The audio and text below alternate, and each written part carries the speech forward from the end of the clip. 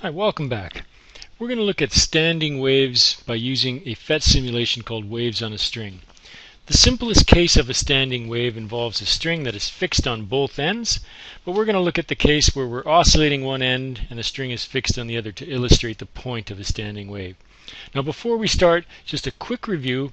If I send a pulse towards a fixed end, the pulse will reflect off the fixed end on the opposite side. And this will continue on for quite some time until the wave actually damps out. Now for the simulation I've set the damping to zero, so this would actually continue on forever. Now we don't want to just send a single pulse, we want to send a train of waves down. So we're going to put it into oscillation mode and it's going to allow us to adjust the frequency and the amplitude of the oscillation. So I'll get the thing oscillating, I'm going to drop my frequency way down and my amplitude way down Okay, I'm going to start this simulation at approximately a frequency of 4. Now 4, once again in the simulation is meaningless, it just means 4% of the maximum. Let's see what happens when I start the wave.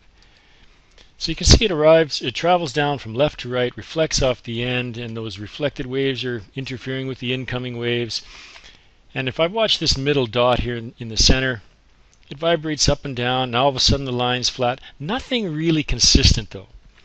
And if I increase the frequency slightly to 8, all of a sudden I get this magic frequency that happens to match the resonant mode of that string. And we get what's called an antinode. You can see in the center here the wave is really starting to vibrate at a maximum now. That's called a standing wave. The ends would be considered nodes and this middle piece would be an antinode, a loud spot if it was sound. Now this is called our fundamental frequency and it turns out you can create standing waves that are called harmonics at whole number multiples of the fundamental. So what does that mean? Let me just hit pause for a second. If I restart the wave and put it up at let's say 10. Now 10 is not a whole number multiple of 8. I'll restart it. And you'll see that it kind of looks like it might be a standing wave for a second but again, and then it goes into a weird looking pattern for a minute, starts to cancel itself out. Nothing really consistent is happening there. But remember, my fundamental frequency was 8. So if I double it, double the frequency, I would half the wavelength. And all of a sudden I should be able to fit two bumps in between those two posts. So I'm doubling the frequency to 16. I'm going to hit restart.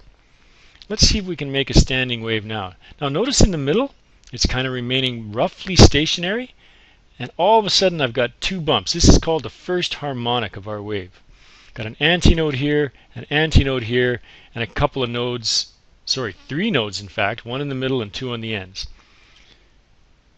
So I'll freeze it here. Antinode here, antinode here. And what we see is actually one full wave when we pause the simulation. So that's the first harmonic. And all I've done is I've gone from my fundamental frequency of 8 and I've added 8 hertz to get 16. So Adding another 8 hertz would give me 24. Let's see if I get another standing wave.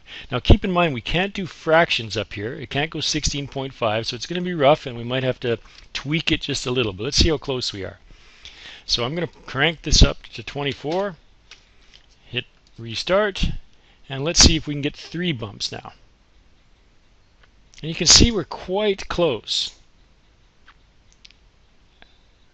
So if I Pause it right there. We've got a node, a node, a node, a node. One, two, three, four nodes, and three antinodes. So I've added another bump or another antinode into that pattern simply by increasing my frequency by another 8 hertz. Now notice in this pattern there's one full wave and a half. So the distance hasn't changed between them, but now I have now I'm squeezing one and a half waves in there. So every time I add another half wave, I can get another harmonic or another standing wave.